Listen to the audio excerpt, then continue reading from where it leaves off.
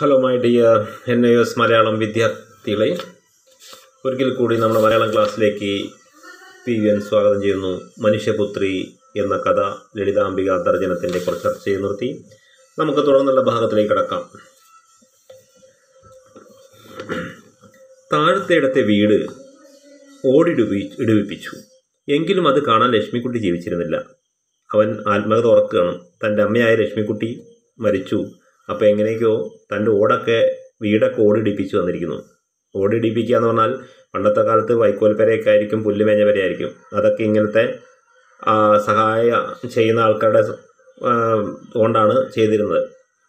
എന്ന കാര്യം വ്യസന സമേതം അയാൾ ഓർത്തു. അമ്മയുടെ മരണശേഷം കുഞ്ഞാത്തലമ്മ മാത്രമായിരുന്നു അവന്റെ ഏക സഹായം അപ്പം അച്ഛനും പോയി അപ്പം അമ്മയും മരിച്ചു.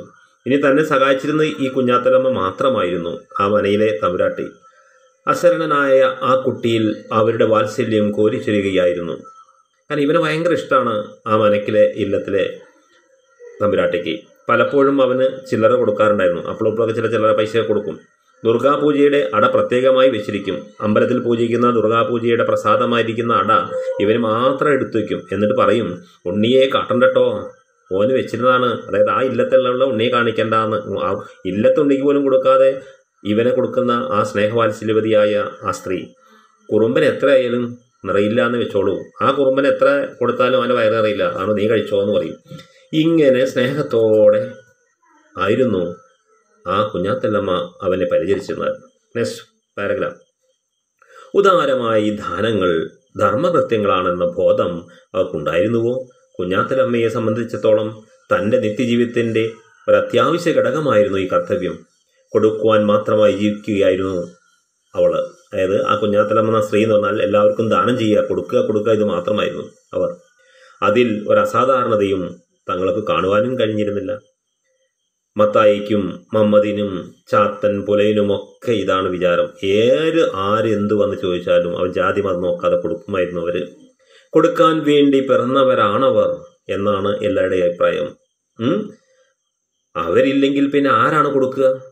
ആ ഗ്രാമത്തിൽ ദാനധർമാദികൾ കൊടുക്കുന്ന ഇത്രയും നല്ലൊരു സ്ത്രീ ഇല്ലായിരുന്നു. അങ്ങനെ ആ നാട്ടിൻ പുറത്ത് ഇതൊരു സാധാരണ സംഭവം മാത്രമായി. ദിവസവും അന്തിമയങ്ങിയാൽ മനക്കലെ പടിപ്പുരയിൽ ഒരു വിളി കേൾക്കാം. അത്താഴപ്പട്ടിണിക്കാർ ആരെങ്കിലും ഉണ്ടോ എന്ന്. അത് പണ്ടൊക്കെ ഈ വീടുകൾ ചോദിക്കുന്നതാണ്. ഭക്ഷണം വീട്ടിലുള്ളവർ കഴിക്കുന്നതിന് മുമ്പേ പട്ടിണി കിടക്കുന്നവർ ആരെങ്കിലും ഒക്കെ ഉണ്ടോ എന്ന് ചോദിച്ചിട്ടേ അവർ വിളമ്പുമായിരുന്നു അങ്ങനെ സമ്പ്രദായമൊക്കെ നമുക്കുണ്ടായിരുന്നു.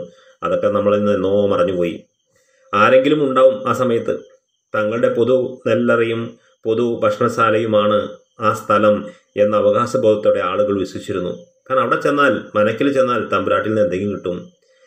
ഇതുകൊണ്ടായിരിക്കാം ഗോവിന്ദൻകുട്ടി പത്താം ക്ലാസ് പാസ്സായി നാട് വിട്ടപ്പോൾ കുഞ്ഞാത്തലമ്മയോട് ഒരു വാക്ക് പോലും ചോദിക്കേണ്ട ആവശ്യമുണ്ടെന്ന് അവൾക്ക് തോന്നാഞ്ഞത്. കാരണം അങ്ങനെ ജീവിക്കാൻ എപ്പോഴും ഈ കുഞ്ഞാത്തലമ്മയെ മാത്രം ആശ്രയിച്ച ഇവൻ തന്റെ ഗ്രാമം വിട്ട് നാട് വിട്ടുപോയി. പണ്ടൊക്കെ കുട്ടികളെ നാട് വിടുക എന്നാണ് പറയുക. ഗതിയില്ലെങ്കിൽ നാട് വിട്ടുപോകും. അപ്പം അച്ഛനും മരിച്ചു അമ്മയും മരിച്ചു. പിന്നെ ഗോവിന്ദൻകുട്ടി ഇവരുടെ ഒരു ആശ്രയായി മാറണ്ടെന്ന് വിചാരിച്ചു ഗോവിന്ദൻകുട്ടി എന്ത് ചെയ്തു? പത്താം ക്ലാസ് പാസ് ചെയ്ത ഉടനെ നാടങ്ങ് വിട്ടുപോയി ഉം? പിന്നെ എന്ത് ചെയ്തെന്ന് അറിയില്ല? അപ്പോഴേക്ക് അയാൾ വളരെ വളർന്നിരുന്നു. വളരെയധികം പുസ്തകങ്ങൾ വായിക്കുകയും ചെയ്തിരുന്നു. സ്നേഹവും കടപ്പാടും നന്ദിയുമെല്ലാം കാപ്പിട്യമാണെന്നറിയത്തക്കവണ്ണം വർഗസമരത്തിൽ അറിവ് നേടിയിരുന്നു. പിന്നെ അവിടെ നിന്ന് അങ്ങോട്ടൊക്കെ ഈ വിപ്ലവത്തിലൊക്കെ ചേർന്ന് കുറേ വായനകളും വിവരങ്ങളും ഒക്കെ ശേഖരിച്ചു. അങ്ങനെ ഒരു വിപ്ലവ ചിന്തയിലേക്ക് പ്രവേശിക്കുകയും ഒരു വിപ്ലവ നേതാവായി അവൻ മാറുകയും ചെയ്തു. പിന്നെ കുഞ്ഞാത്തലമ്മയെക്കുറിച്ചൊന്നും അദ്ദേഹം കേട്ടിട്ടുണ്ടായിരിക്കില്ല. കുഞ്ഞാത്തലമ്മയുടെ ദീർഘദർശനം സഫലമാക്കിക്കൊണ്ട് ബുദ്ധിമാനും ഭാഗ്യശാലിയുമായ ആ ചെറുപ്പക്കാരൻ പ്രസംഗ പീഠങ്ങളിലെയും പ്രതിനിധി സഭകളിലെയും ഉയർന്നു. അങ്ങനെ ഒരുപാട് പ്രസംഗങ്ങൾ നടത്തി. കുറേ പ്രതിനിധി സഭകളിലൂടെയൊക്കെ ഉയർന്നു ഉയർന്നു വാനോളം ഉയർന്നു. കയറി പോയിക്കൊണ്ടേയിരുന്നപ്പോൾ ആ പഴയ നാട്യം പുറത്തെ പറ്റി ഓർക്കാൻ നേരമുണ്ടായിരുന്നില്ല. വർഷങ്ങൾ കഴിഞ്ഞു. സംഭവഗതികൾ മാറി മറഞ്ഞു അസംഭാവ്യമായത് സംഭവിച്ചാലും ആളുകൾ ഞെട്ടാതായി. ഇങ്ങനെയാണ് നമ്മുടെ ഈ ഇന്നത്തെ ഈ രാഷ്ട്രീയ നേതാവിന്റെ മാറ്റത്തിന്റെ പുറകിലുണ്ടായിരുന്ന ആ ഫ്ലാഷ് ബാക്ക് സ്റ്റോറി ഗോവിന്ദകുട്ടി തന്റെ ആത്മകഥയിൽ നിന്ന് മെനഞ്ഞെടുത്ത് ആലോചിക്കുന്നു. ഈ വേളയിൽ അവിടെ നമുക്ക് തൽക്കാലം നിർത്താം.